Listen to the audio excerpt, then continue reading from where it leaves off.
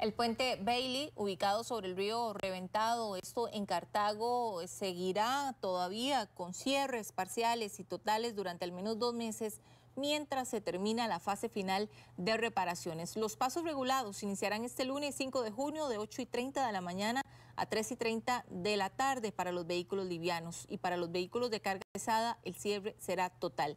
Según las autoridades, el horario de los trabajos que tienen un costo de 150 millones de colones se fijó de esa manera para dejar el paso libre durante las horas pico y también considerando la afectación que ocasionan los trabajos en Taras La Lima.